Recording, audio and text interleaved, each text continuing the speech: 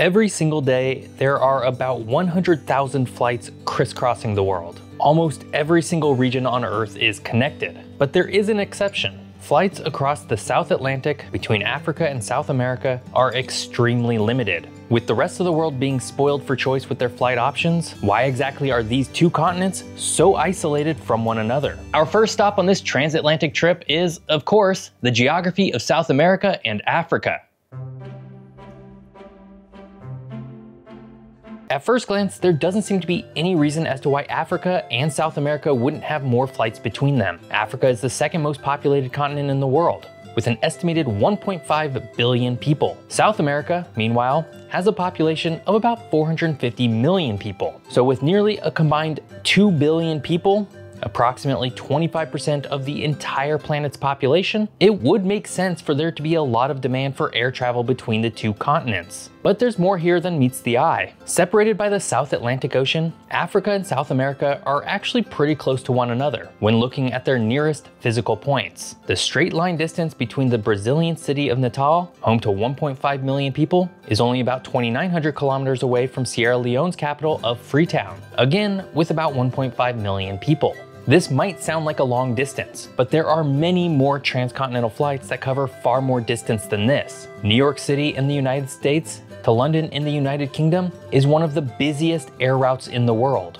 with over 4 million annual passengers. And yet, its straight line distance is nearly twice as far, at over 5,500 kilometers. So the actual geographic distance between South America and Africa is not to blame here. One argument that could be made to support the limited number of flights between these continents is the potential lack of emergency landing spots. For standard passenger jets, enough fuel is required to make it to an emergency landing location should the airplane lose an engine mid-flight. Because of this, commercial jets with two engines must remain within 60 minutes flying time of an airport just in case. This is where things get tricky, but not impossible, for the South Atlantic. You see, the South Atlantic Ocean is incredibly sparse in terms of habitable landmasses with infrastructure for a passenger jet. In fact, it only has three possible runways to offer in such an event. The first of these is on the island of St. Helena, which is situated almost 2,000 kilometers off the coast of the African countries of Angola and Namibia.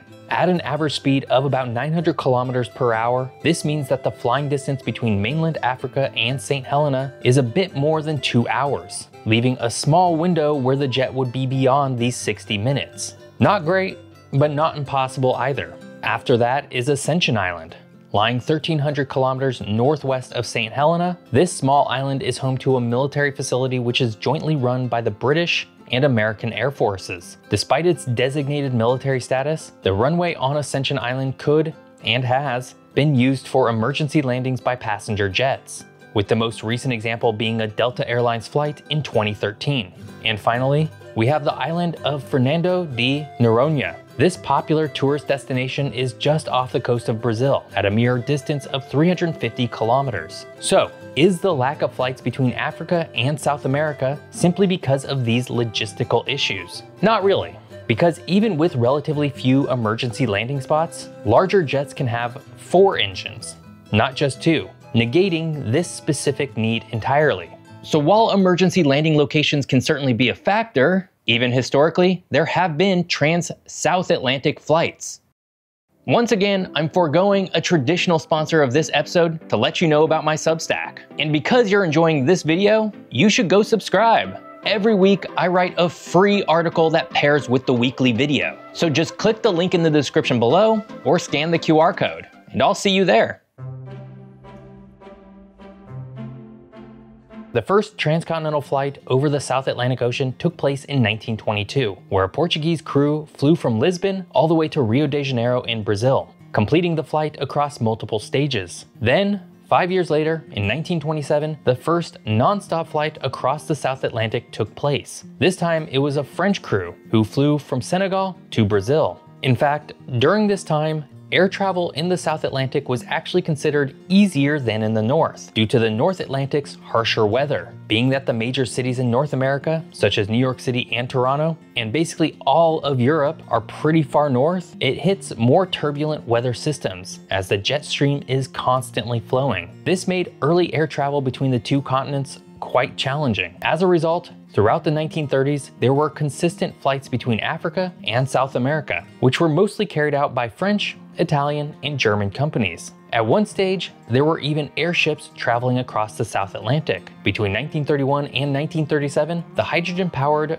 Graf Zeppelin routinely traveled from Frankfurt, Germany to Rio de Janeiro. Since then, however, air travel in the South has slowed considerably, mostly because during this early period of commercial flight, most of Africa was still heavily colonized by Europe. And while South America was mostly free by the early 1900s, Suriname didn't gain independence until 1975, it meant that most flights going to and leaving from Africa were heading to Europe, where colonial administrators and extracted resources and wealth were heading. The demand to connect the colonial holdings in Africa to the recently freed countries of South America was basically non-existent. Of course, in recent decades, this has changed. Africa is independent just like South America. And with that freedom, each continent has grown independent economies that should naturally want to reach out and connect to the wider world. Basically, the lack of historic flights in the 1900s hasn't persisted because of historic geographic and technologic issues. Instead, it's caused almost entirely by population and economy.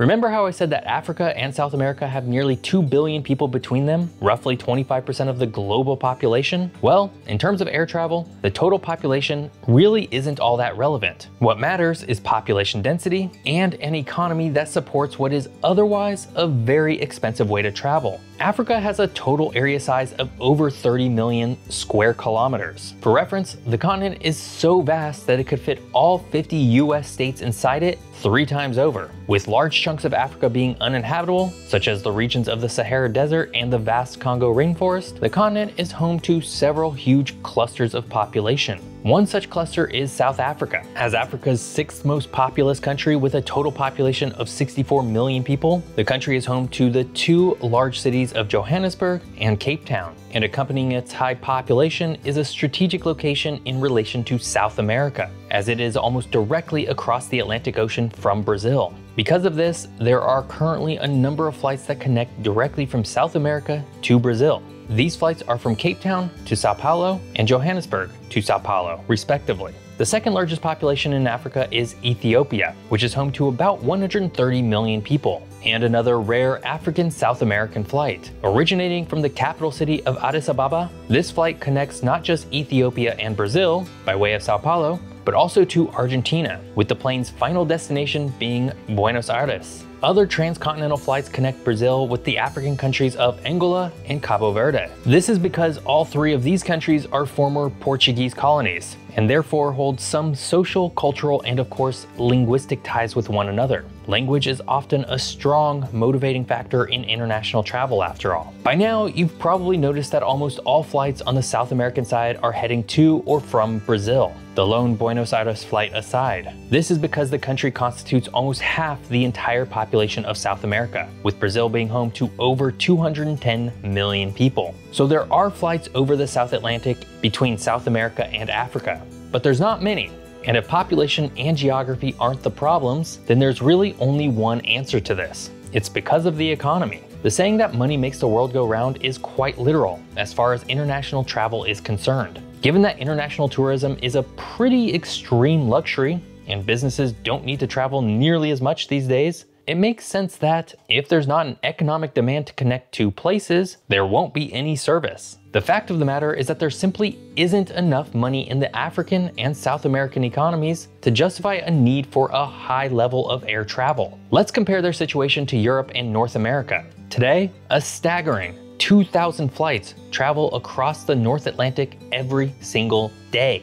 This endless amount of flights connect just about every city you can think of. One city in either Europe or North America often connects directly to a half dozen or more cities on the opposite side of the ocean. The amount of travel and connectedness between North America and Europe is astounding, especially considering the early safety issues with trans North Atlantic flights. All told, these two continents hold a combined population of just over 1.3 billion people, which is far fewer than that of Africa and South America's 2 billion people. But let's look at the GDP across these regions. Both North America and Europe's GDPs are almost $30 trillion a year. They are undoubtedly the two centers for the global economy. South America and Africa, on the other hand, have a GDP of $4.3 trillion and less than $3 trillion, respectively. So, despite holding a much larger population, South America and Africa only have about one tenth of the money in its economy when compared to Europe or North America.